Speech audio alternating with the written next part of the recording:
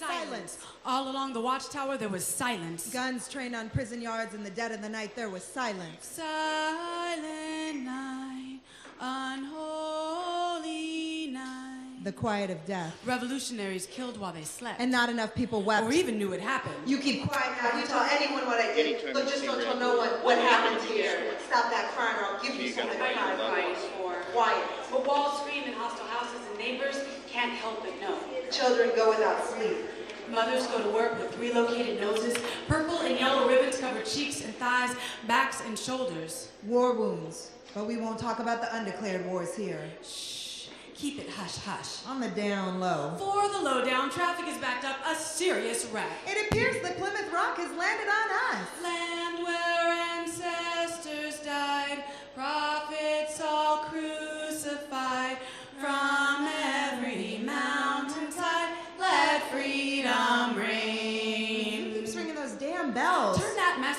Tragedy strikes today in a terrible accident. He did it on purpose. Mom, Mom. I've got a migraine for centuries. Why can't they just keep quiet? All quiet on the Western Front. You take this time to think about what you did. Children turn their faces towards the east, towards blank walls and timeouts, outside time constraints of commercial breaks. But somewhere, not so far away, Somewhere bombs are dropping on babies, from way up high. mixing the screams of children and missiles. And then silence. But we can't be quiet. We gotta scream and be heard. No No, justice, no peace. No justice, no peace. Red, white, and blue suckers done stole the soul. And my ancestors can't rest because their deaths and burials weren't proper. Cast to these big waters, but the spirit can't drown. And I will not be silent. Because. I was buried in the shallow grave and unhallowed ground. In the midst of lies, brutality, injustice, scandal, and straight up bullshit, the prosecution would have you, the jury, believe that Mumia Abu Jamal, critically wounded at the time, was able to rise. Silence. You may now come to order. You may now buckle under law and order. I threw out the appeal on the grounds of my not having enough coffee. Freeze, nigger, drop to the ground. You have the right to remain silent. We have had that right for over 500 years. We would like to trade it in for our stolen voices. Sorry, no refunds, returns, or exchanges without the proper receipt. No search or seizure without probable cause. But we got some reasonable doubts and some serious suspicions that. Eh, eh, eh. We're sorry you have reached a number that has been disconnected. Hey, don't call me. I'll call you. Wait until we call on you. Call and response. Berimbau in a red belt. Chanting change, because next time we're, We're gonna, gonna take take more folks folks with us. us. If you gotta go, go with a bang. We interrupt this program. Man, turn that crap off. I'm not listening. I'm not listening. Can you hear me? Can you hear me? Can you hear me? Can you hear me? Are you listening?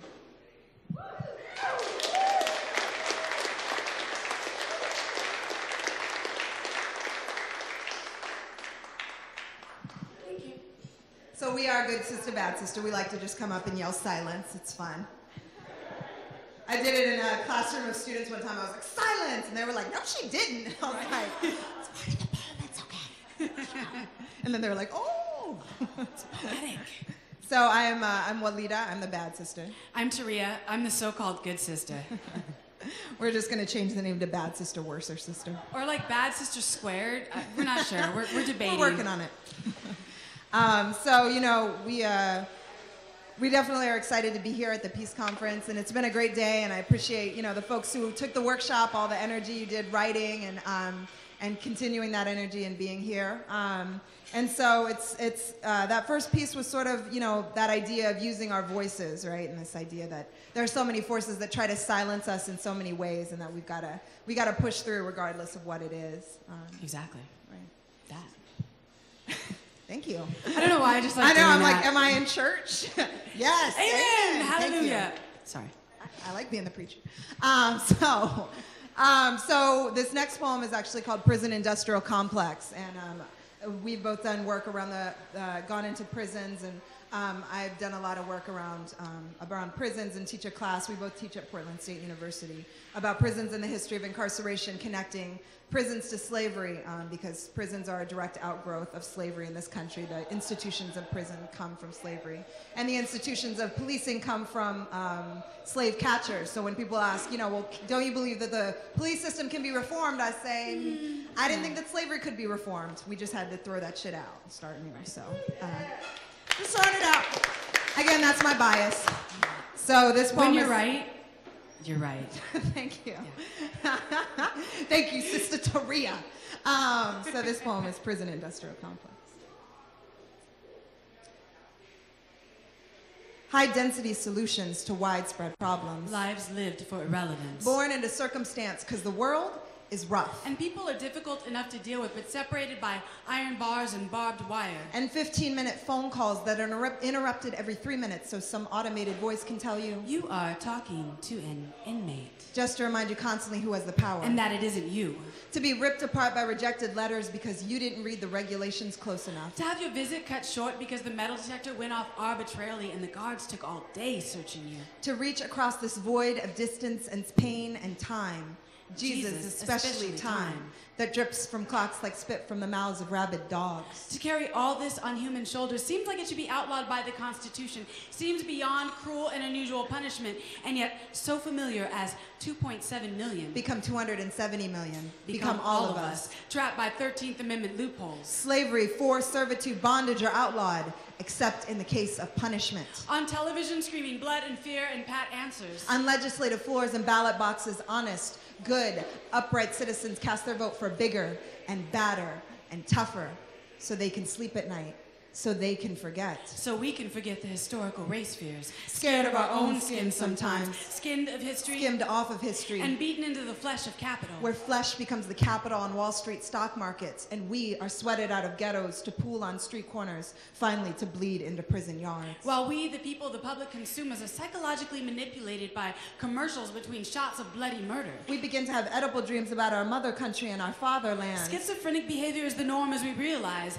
This country has a serious prison industrial complex, and getting more serious every minute. As they build industrial complexes around our bodies, Sensing off our minds until we have to ask the president for a shit break. and our landlord doles out our daily smoke. Until we don't know there's any other way, until we think that this is freedom. But those behind bars can still say, You ain't free. You ain't free from yourself. And you sure as hell ain't free from us. We need a day. We need a day to rescue freedom from the dugout where it had been sent after three strikes and your outlaws permanently retired it from the game. A day to say, lend me some air so that I might breathe without the stench of death clogging my lungs. The cry wasn't even, get me the hell out of here.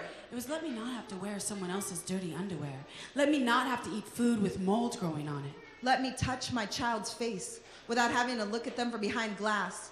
Because shatterproof glass distorts the faces of families and of strangers, and it mutates my face into a mask of rage. And when that happens, Attica, Attica, Attica, We resurrect Haitian slave revolts, maroons skulking through jungles. metamorphosized into prison blues, skulking through sweatshops, encased in steel, supplanted in America's heartland, and hell no, not in our backyard, becomes so, what kind of tax break do you need to speed up the construction?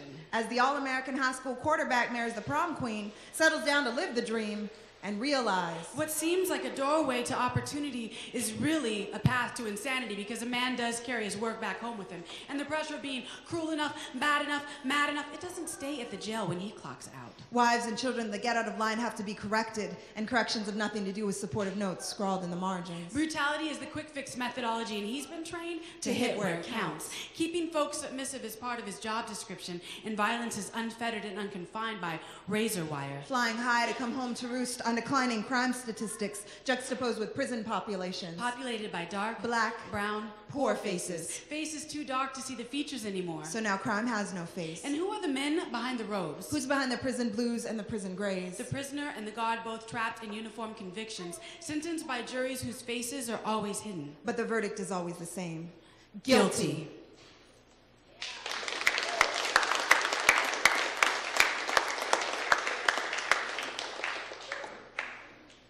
Um, so I mentioned earlier that I was going to do a poem about an organization called Take Back the Land. Um, does anyone here know about Take Back the Land?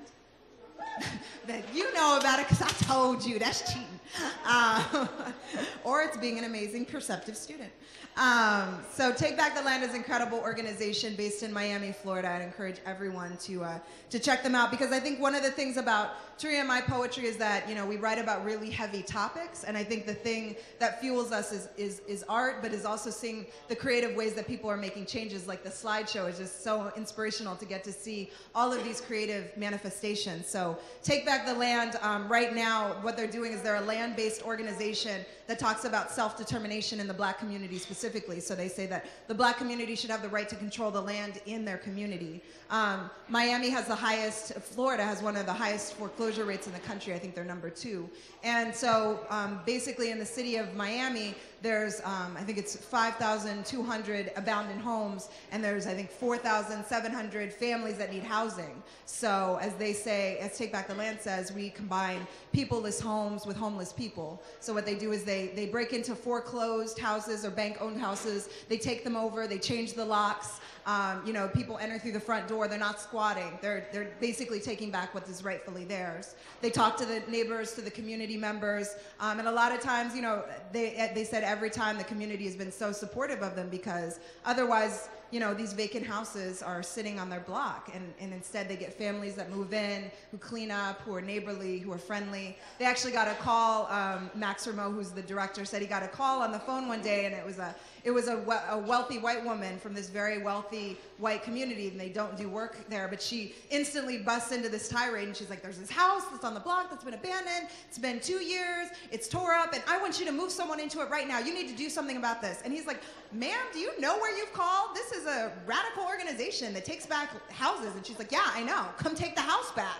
Um, so you know, it's, sort of talking about, you know, strange bedfellows, but the idea, you know, the idea again is this idea of community building. So, um, but before they started taking back houses, they actually took over um, some property owned by the city of Miami, and they built um, a community on it. It's a shanty town that they call the Moja Village, Unity Village. And they housed over 200 people in a six month period. And the people ran the community, they built their houses, they decided how decisions were made, um, you know, and a lot of folks felt really empowered, learned to be, you know, organizers, learned to trust their own, you know, sort of internal processes, not so much learning how to be organizers, but recognizing what they already knew that they were organizers. Um, six months almost to the day that it was built, it was burned to the ground in a mysterious fire. Um, so I wrote a poem um, about that, about sort of the burning and the response, because I think when we when we um, have setbacks, I think we often sort of just shut down as a movement, and I think we need to recognize one of the things that inspires me about Take Back the Land is they were like, okay, where do we go from now? And they didn't just replicate the same model. They weren't like, we'll seize another land, we'll build another shanty town. They were like, conditions have changed, we have to shift with them. So this is sort of my, uh, my ode to Umoja Village called Take Back the Land. The melted plastic face of a doll and a dream. Charred edges of tattered novels and hope.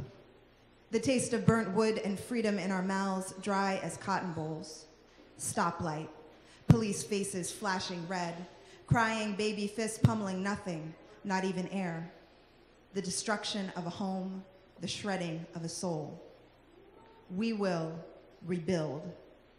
The sun flashes through the skin of our backs, window shades.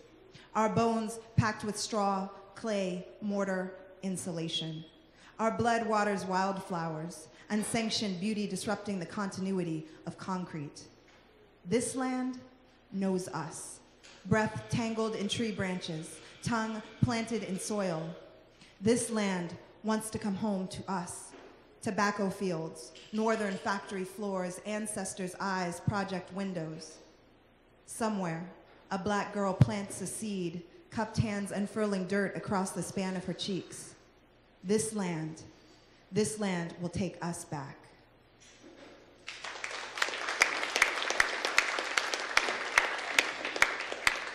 I realized the introduction was like eight times longer than the poem. um, so this poem is called Military Targets, and um, you know, it's, a, it's about the situation in Palestine. Um, and uh, you know, I think it's, uh, you know, we've, we've sort of, we've got to talk about history, you know, and, uh, and sort of work from that framework. Um, I was a history major, so I sort of see everything through a historical lens. So, and I think seeing the interconnections of struggles is really important. Again, they try and break us off into these boxes that are isolated, but really these struggles all flow together. They say they only bomb military targets. Only military targets, they coo soothingly. We are not terrorists, setting bombs and stealing planes and stabbing at the night which asphyxiates and poisons. We have clean shirts and clean hands, and we sterilize our instruments before we operate. Israeli soldiers invaded Ramallah today. I only know this because a white activist told me so. He said, Israeli soldiers invaded Ramallah today, and I'm so depressed. I can't go out to dinner with you guys. I'd rather sit in silent contemplation of a Jack Daniels bottle. I told him to remember to pour out a little liquor for our Palestinian homies. He told me my humor at a time like this was inappropriate. Liberals shake their heads and from towers of privilege cluck the appropriate nothings that fall from their lips like diarrhea. It is so sad. It is a tragedy. There must be peace. We must stop the violence in the Middle East, which rose from nowhere, like a mushroom cloud, without memory, no culpability, no anger, only depression. In a space where people turn their bodies into bombs rather than have their tongues ripped asunder, your depression is inappropriate. When children protect their homes against tanks armed only with rocks and righteous rage, your depression is inappropriate. When the Israeli army uses foreign journalists as target practice to further a media whiteout, your depression at a time like this is inappropriate. And Toni Cade Bambara said depression is collaboration with the enemy. But you never had, you still haven't decided which side you're on. Well, you better choose now because as you keep telling me, we are at war. We are at war with terrorism. Translation, Islam, brown people, self-determination, freedom, dissent. Don't forget about that war on drugs. We're close to winning that one soon. Bring our boys home from slum streets and ghetto Gaza strips, where youth are armed with rocks and Glocks and misdirected righteous rage. Doublespeak is the order of the day, obscuring the difference between martyr and murderer. We didn't come here to kill. We came to die. Whispers of Lolita Lebron, for we are the already dead. Slaughtered child soldiers, bullet-ridden refugees, tortured freedom fighters. We refuse to lie silent in our mass, unmarked graves, hidden from the harsh light of history. Trust us, they say. Give history to us, they say. Give history to our blood-stained hands and we will purify it, burn it clean with our bleach. It's a simple procedure, really. Deny the creation and you deny the occupation. Deny the existence and the resistance. Deny the innocent who died, so you deny the genocide. Deny the war games, deny the family names. They were too difficult for newscasters to pronounce anyway. Most of all, deny the guns branded USA. If you can't deny, never forget the password, catchword, code words, military targets. We only bomb military targets. The beat of a heart, the cry of a child, the slip of a trigger, the push of a button, the slip of a dollar can turn a 10 year old's decapitated body, lying in the rubble and remnants of a ruptured hospital, into a military target.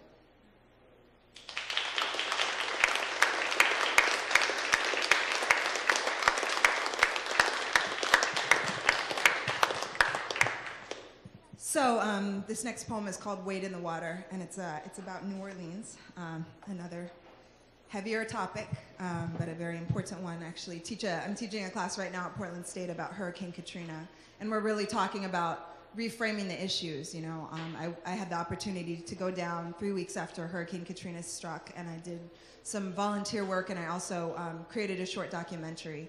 And so I basically wrote this poem, um, sort of like we were doing in, in, in the workshop using the senses. I wrote this poem to try and create a way for people to feel a little bit of what that was like, um, what it was like for me being there, what it was like um, hearing these stories. So everything in the poem is something I either saw or I interviewed someone about. Um, so again, this, uh, I'm like, now I'm back in teacher mode. This is another way of using poetry as a sort of poetic journalism. Um, but I do, you know, I think it's important again, like, um, you know, uh, Matthew Shenoda, whose poem we read, he said poetry is, uh, is the art of economy, right? So if you don't have a camera and you don't have money and editing equipment, you can still write something down and in that way take photographs, take film and bring it back.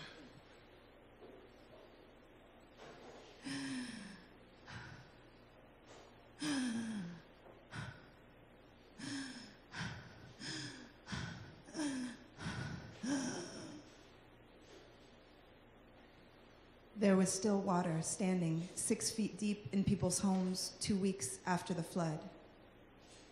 Through waters laced with chemicals and human excrement and bloated bodies, Black and brown people went out every day to save the kin left behind, shredded and discarded.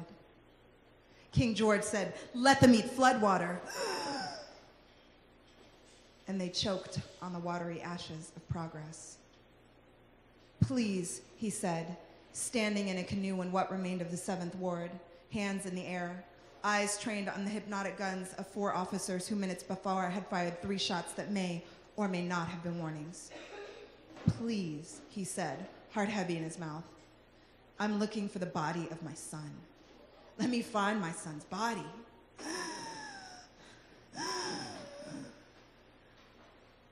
The Mississippi River was dragged in the 60s to find the bodies of three civil rights workers murdered by the Klan. Dozens of human remains were found, all black, all nameless. They were unimportant to media coverage and bureaucracy and good race relations, so they were thrown back to the river. How many lives were submerged until they stopped kicking?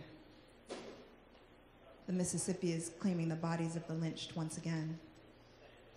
And in a town two hours outside of New Orleans, corpses were unearthed from the graves set free to flow down the street. An old man sits on his porch. I built this house with my hands. Lived here 58 years with my wife till she died two years ago. I saw her casket in the water two weeks ago. I can't get nobody to help me put her back in the ground where she belongs so she can rest. Won't anybody help me? Dear God, FEMA, please help us. Don't leave us here to die. Read the graffiti on a house completely surrounded by water. Two weeks and no relief. Three weeks and no aid. Four weeks and no FEMA. Yeah, they gave us something, the brother snorted, dreads coiled and purring on top of his head. He was one out in boats every day taking people to the promised land of higher ground. On the fifth day, Red Cross dropped some hard rock candy on our heads. Don't let them tell you they never gave us nothing. And they gave them National Guard and the NYPD and the U.S. Forestry Department and the INS and Border Patrol and the Office of Homeland Security and state troopers and detachments and battalions and tanks and automatic camps and work camps and concrete floors and nightsticks and blood and blood and blood and bullets. And don't let them tell you they never gave us nothing. The waters have receded and this human tide trickles in. An old young woman stands in her decomposing house. Black mold coating the walls, baby pictures, high school diplomas. Her four daughters chase after their 11 collective children. She holds the youngest one in her arms, and he has nothing but wise eyes and heavy brow. Of course, we're staying. She hefts the tiny sage to the other hip. I don't know what we're going to do. But this, this is ours. We won't leave it. And she does not mean this cramped house and dead yard out front. She means this this spark of hope, soggy, sputtering, but burning out enough space.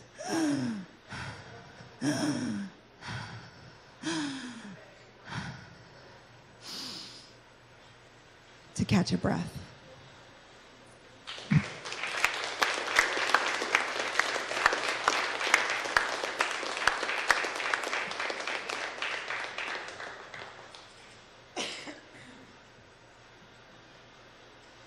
So, um, you know, we talk a lot about, you know, war and how these different battles like wage throughout the world. And one thing that we think is important, you know, as women, and as women of color, to really address the way that, you know, war is not just what happens overseas, but it's also what happens day in and day out, um, and how it plays out, especially on women's bodies, whether it's here or abroad, because um, women are kind of always under attack. And when we look at, you know, people that are constantly being affected by all these tragedies, women and children are often the brunt of these horrific choices made by governments and powers that be.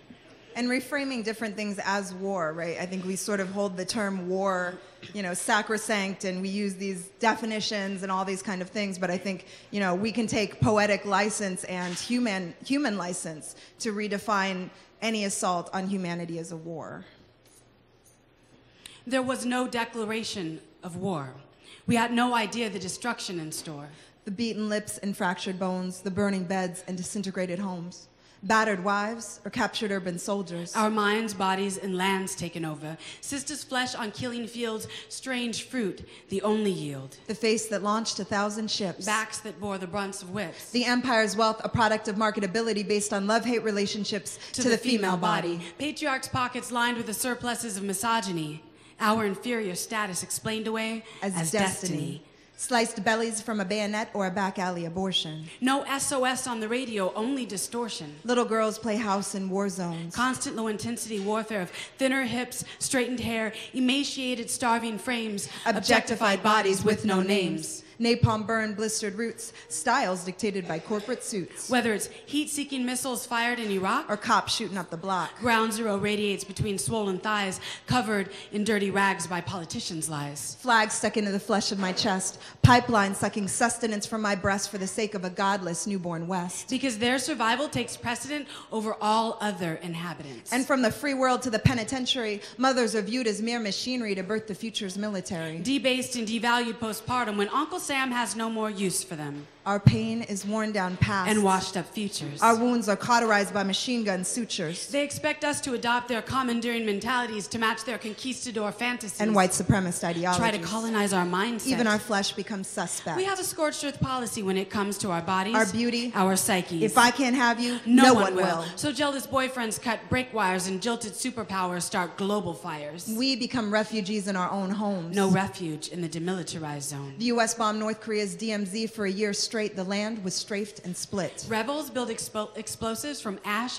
dirt, and spit. But our weapons will be Use placentas, flesh colored magenta. broken noses skewered by barbed wire and borders. Bodega built bombs. Broken glass glinting at dawn. Our skin cracked and, blue- and bruised stretches as shelter. Attitudes and temperature swelter. Our corpses stacked like wood. Genocide tactically understood. Combat boots kick out our teeth as we struggle to speak our lived realities. More than just casualties because men fight wars on our bodies. It's, the, only battlefield they can always reach. But we are never obsolete. Some women warriors carry caches of weapons in their wombs, and we are all able to train and lead platoons. We, economic commodities, reject landmines implanted in our bodies. Forced genetic modification. Inert bomb sterilization to stop the rise of a rebellious nation. we are the weapon we have wanted. the rock with which tanks are confronted. Landmines laying dormant until triggered by torment. We are the determination of the female martyr. Firstborn daughter, Fire fire starters. starters Smoke, on the sky our last breath. will not die.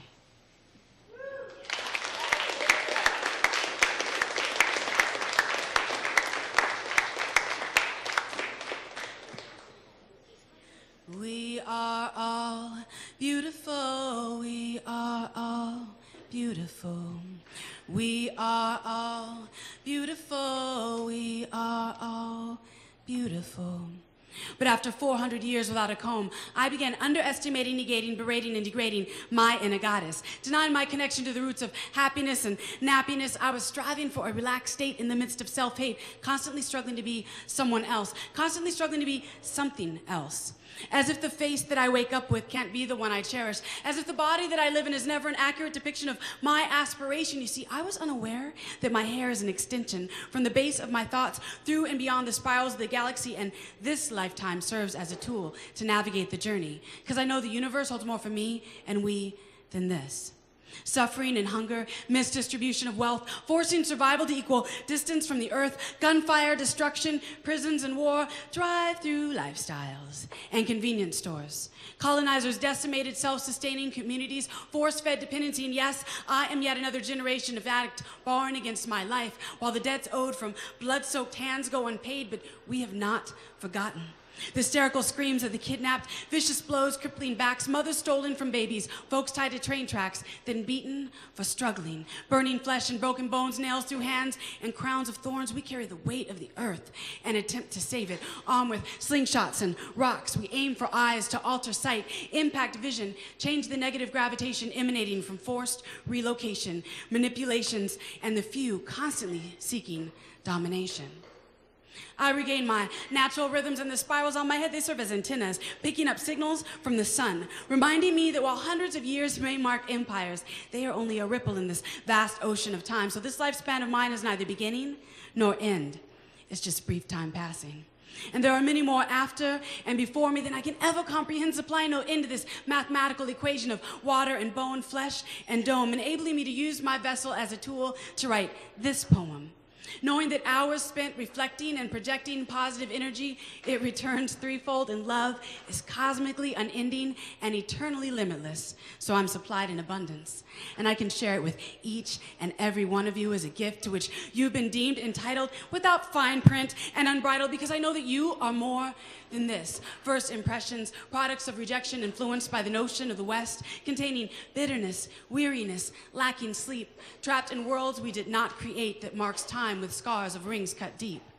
But finally, able to treat the wounds with knowledge predating carved runes, we begin that cataclysmic cipher, bringing dormant roots back to life.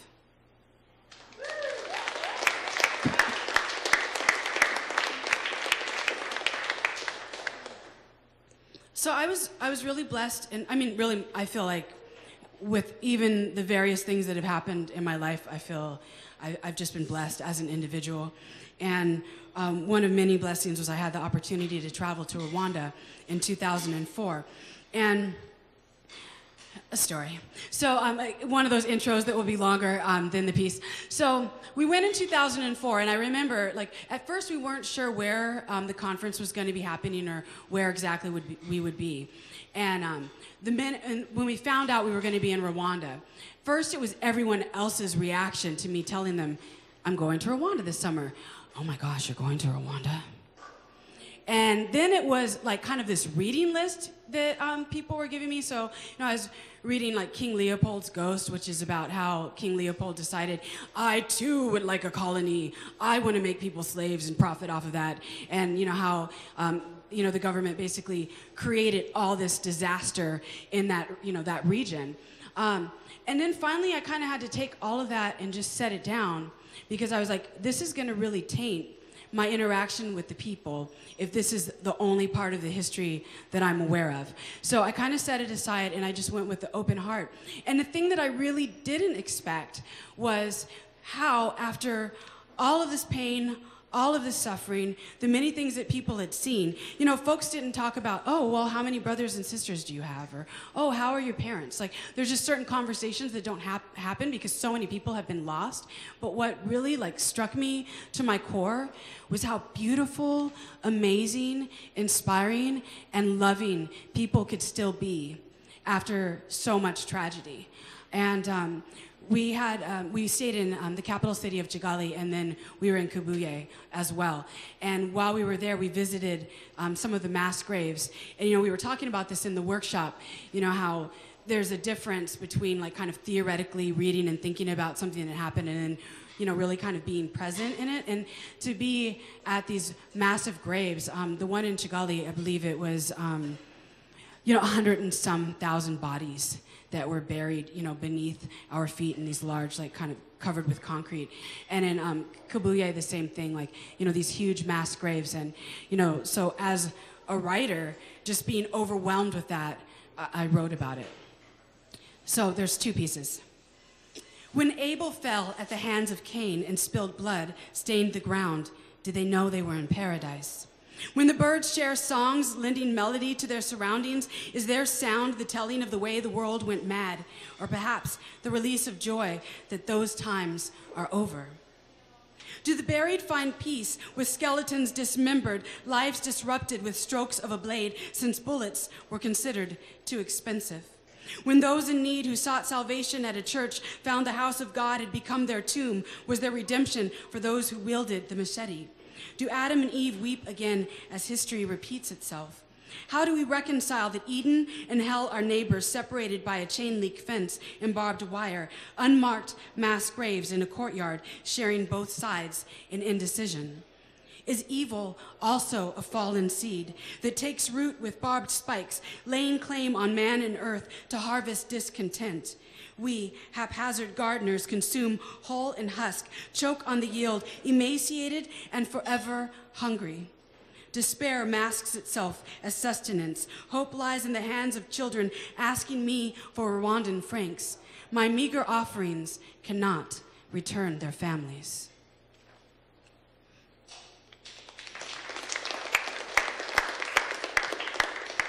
And this is the part two. So really quick, just to say that um, it's really important that we, we oftentimes we look at um, like violence that is kind of like an in-house violence, the way that like maybe folks of color reenact violence on themselves, and then we put the blame on them without oftentimes really looking at the nature and the history of colonialism and the violence that it wreaked throughout the world and the influence that that had.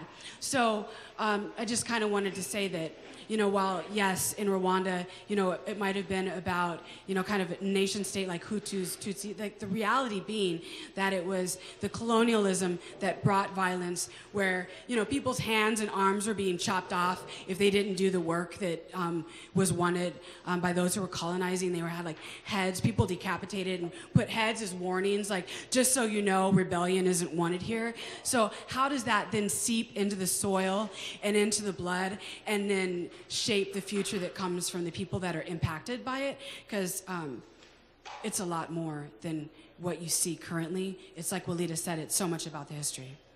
We dig through graves looking for answers and skeletons. Femurs cannot explain the actions of a mob. Skulls bring no clarity to what cannot make sense. We, voyeurs, glance at the displays encased in glass, tread on well laid tiles and gray carpet, gaze at photos and videos, knowing we would never wish to be here in 94. But events are safe for us to witness as history, our interest too late to stop what's happened. We scavenge through the past wearing gloves so we aren't infected with its rawness. Sterility is a great distancer of heart and hand. I cannot look away from the pictures. Those who miraculously survived with machete wounds, missing limbs, piles of bodies, rivers of blood, mangled manifestations of division lying haphazardly in a churchyard. I buy no souvenirs to take home. I am afraid to remember. Even though I have no choice, the 250,000 buried here demand we never forget.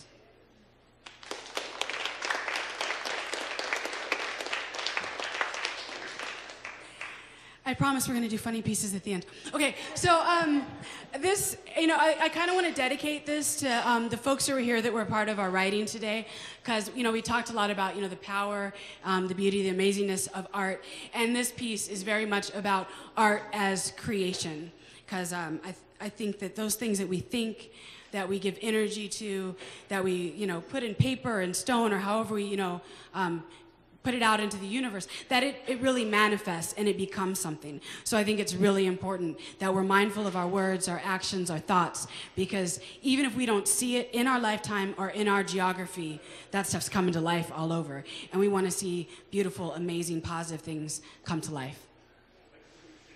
I awoke in breath. I tripped upon a thought and brought myself into existence on a warm, wet night. I meditated each idea into a star, and then I stretched one open, freeing daylight.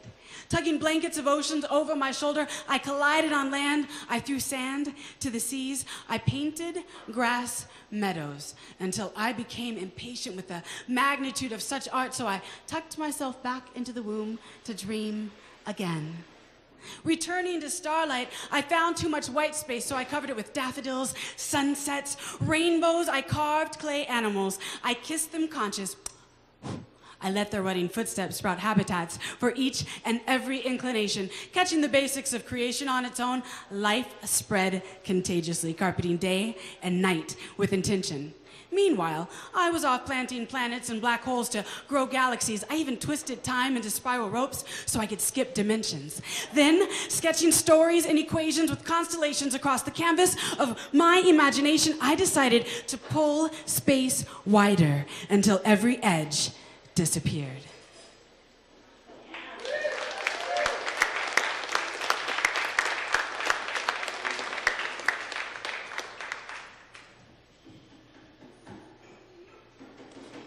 Now you see why she's a good sister. um, so, uh, yeah. So as Turiya said, this poem is uh, is about, you know, using humor to deal with uh, with some some Stuff some that crazy- really works on your nerves. Yeah, and uh, you know, and also the idea that the personal is political. So, Oh, yes, it is. uh, so having said that, I am so done with men. Okay. Seriously, I'm not playing. Wait, the last guy I was with thought romance was supersizing my drive-through dinner. You mean it's not? No. And then the boyfriend before thought that that thought simultaneous orgasm meant we were both present for his. I think I dated him. Right? And don't even try to mess with a brother who thinks he's super fly 2009 Mr. Mac Daddy Pimp player. Hey girl, you look so good. I'ma have you for breakfast, your mama for lunch, and your best friend for dinner. Mm. And everyone tells me, honey, just find yourself a good man. That's all you really need. But what the hell does that mean? Someone to provide for me, You mean pay for me? Someone to take care of me, Oh, as in control me. just someone to treat me right. What's that? Only irritate me every other night? No, I need hmm. so much more than just a good man coming home talking about. Hey, how was your day? But really not listening to a word I say and instead just talking about his stupid old self as a means of foreplay. You think that turns me on? Shit, you better come with something better than that. Women out there talking about suck my toe and tell me that you love me. But that shit is played out. How to treat your woman right. How to make a scream all night. Find a G spot. Go all night and don't stop. But men already read all those books. They found their way to Venus and they set up shop, selling our liposuction fat, Our saline injected breasts our Revlon coated faces, and our insecurities back to us. And every time I enter into a relationship, I have to brace myself. Be ready to put up, ooh, and shut up. Check part of myself at the door, Uh, because every relationship involves compromise. which means me putting up with your lies and lack of understanding about where I'm coming from. See, I try to talk constructed uh. dialectics and oppression theory, and I see you stifle a yawn. You're not even trying to stifle it. And that's when I realize I got to get me a political man.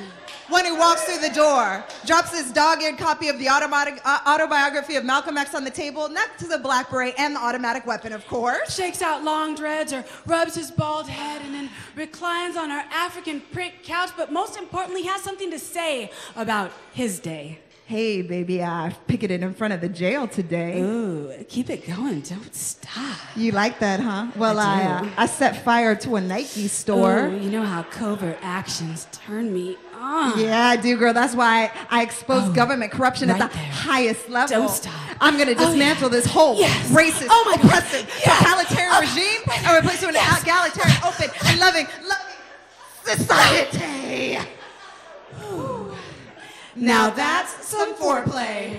Not you rolling over at six in the morning, humping my leg, talking about Girl, you wake. with your nasty ass breath all up in my face. Of course I'm awake now, and you disturb my dreams of a new era with your pacifism. Come on, baby, just let me get a quick hit. Come on, just do what? Three minute, two minute. You know I can do it in 30 seconds.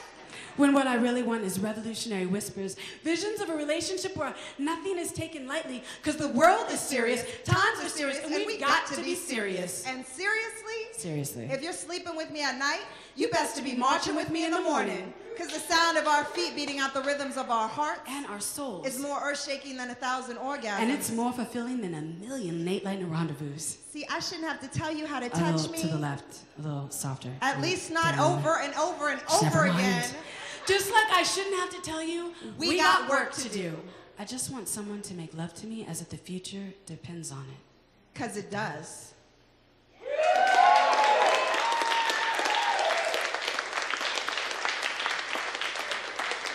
So that was called Political Man. And, uh, you know, we thought we were done having written that. We're like, okay, that's Like, our we got little, uh, it. we got it. We're cool. And then, uh, and then we realized, oh, uh, Wait a minute.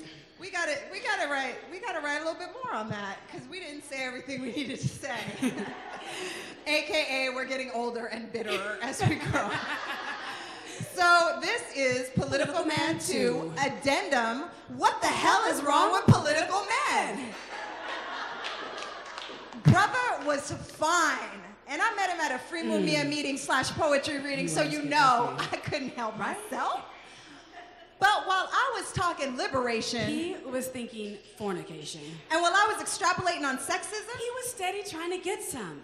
damn, I guess I need so much more than a political man. Because how revolutionary men gonna come straight sexist and expect me to lay down and take that? Most of the time, down and fake that. Ooh, I guess you was faking when you carried around that bell hooks book. Apparently you never cracked it to take a look. You want to call me a queen and then you declare war on the monarchy? Look, it's cool you're down to crush the capitalist state. And you've read the collected works of Frantz Fanon, Steve Biko, and Huey Newton. That's good, yeah. But don't expect the political to take place of the personal work that you have got to do. And brother, that's, a, whole lot of work.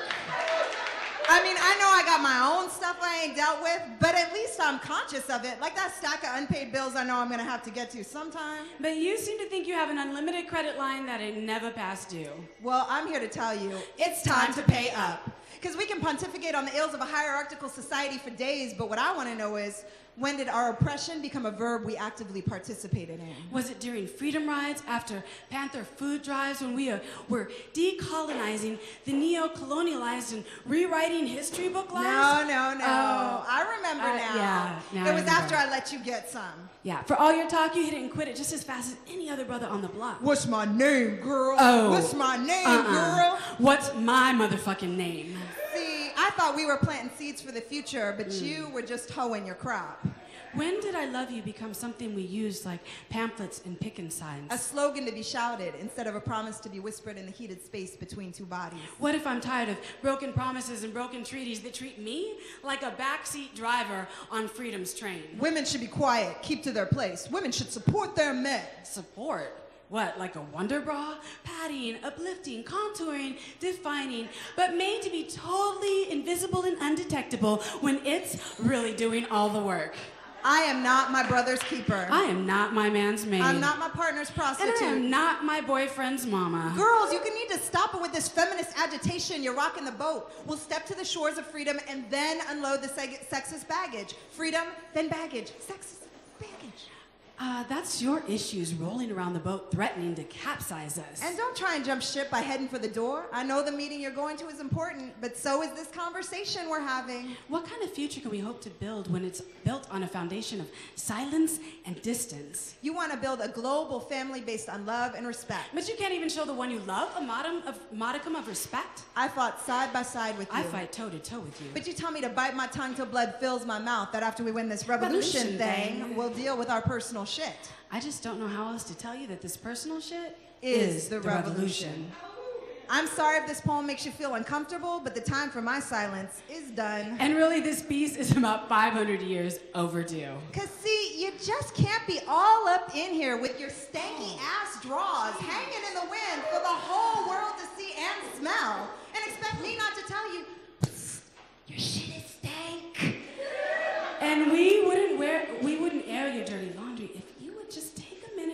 wash it every once in a while. And I only yell Baby, because I care. Pookie.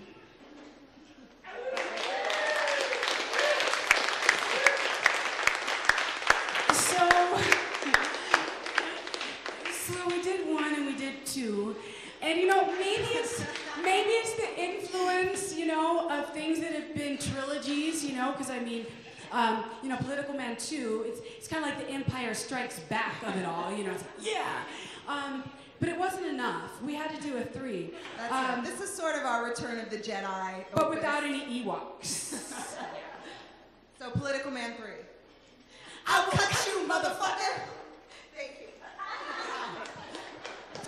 So, we, we crack ourselves up. Hopefully, some of you find this funny too. but it really doesn't matter. I'm like, this is how we get through the day. So, um, so this is uh, this is our last poem, um, sort of about re-envisioning ourselves. Yes.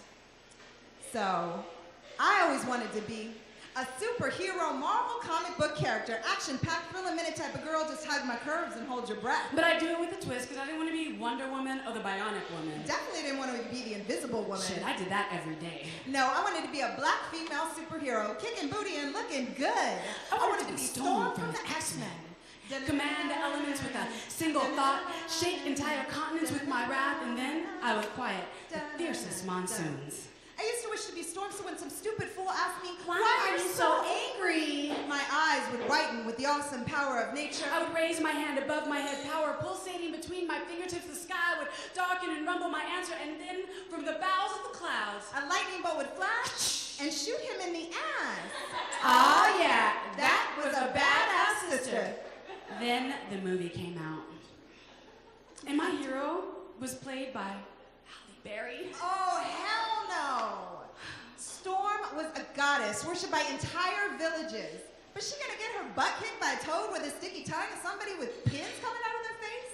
Oh, and Halle Berry does not have the thighs to be Storm, okay? Look at the comics. Sister has some showing off black girl thighs. I'm talking about thighs for days and days, wrap them around your head three times and say thank you, Jesus kind of thighs. But for the movie, they had to put her on that jazzercise, thin and trim routine. Come on, feel the burn. That's when I realized no known image of black women, created by white men, Of course. was gonna satisfy my longing to be a superhero. I would have to figure it out for myself. I would have to make myself over into the Super Soul Sister. That's right, the white man will not be saving the universe this time. Not Schwarzenegger, not Willis, definitely not that bratty, whiny Skywalker. And Uncle Owen, I wanted Instead, the next superhero is a sister. And not the generic ratings are going down, and we need little something to perk up the show. Safeway Selective Superheroes. Generic brand of freedom fighter. Oh no, this will be a sister who can fly above the chains of ignorance and whip out the tongue lashing of a lifetime. You think you know me? Well, I call upon the forces of Isis, Harriet Tubman, Sojourner Truth, Nefertiti, Assata Shakur, Cleopatra, Shanae from around the way to rain down the furies of degradation, centuries of oppression and silence on your head, because we will not be silent anymore. And with the voices of a hundred million sisters moaning across the bloody pages of history, You are gonna feel our rage, because I have the power to resurrect the past train it like a pit bull, and stick it on you. and we will not be held responsible for the consequences. Instead, I'll be responsible for conquering corporate dominance with a smackdown. Indian racial profiling with a swift crackdown. Coming soon to a theater and streets in your town. Ooh, wait. Maybe it's Spidey sense. Could be my super empathy powered third eye. Walidah, I sense racism nearby. Yeah, I keep telling her that's not a special power. Hmm. That's just simple common sense. Every black woman action figure or not comes equipped with that option. Kapow! This mess won't be televised because the networks can't handle this much angry black woman juice. But it will be in your face. And we don't need syndication to open a can of whoop ass five times a week. And twice on Sundays. Take that for slavery. That's for segregation. this is for integration. That's for the glass ceiling. and this is for me being caught up in this corporate matrix. Where I am still Aunt Jemima talking about have a cookie and you'll feel better, Neo. And this is for me not being able to find flesh-colored pantyhose. Or my hair care products at the corner store. Double smack. Forget the Wonder Twins. We are the Thunder Twins. Kablam! Knock the smirk right off the face of patriarchy. We rewrote history and we started our own galaxy. Beyond the Silver Surfer's reach, mm-hmm. because you know he'd be trying to gentrify. And no, we ain't letting you in to fuck up the new solar system too. Oh, and hell no, the chief of police can't page us with a strobe light shaped like an afro pick shining on the night sky. Charlie will not be on the intercom, but if he does try to reach us, tell him we have stopped moonlighting as angels because we have come down to earth and pawned our wings for weaponry. And you'll be captivated by our graceful motions as we kick the asses of Judge Sabo, Pete Wilson, George Bush, First and second. Giuliani, Charlton Heston, Chuck, even from the grave, put the gun down and let people go. Arnold Schwarzenegger. The Governator. Basically, every great hope that ever, white hope that ever arose. We gonna whip him like he was Muhammad Ali, and we sting like a bee with a personal vendetta on you. Ooh, like you said something about his mom. Right? Because I wrestled with an alligator, I tussled with a whale, I handcuffed lightning, and I threw thunder in jail. Wait, wait, wait. Believe it. Is to replay that so they can watch it again.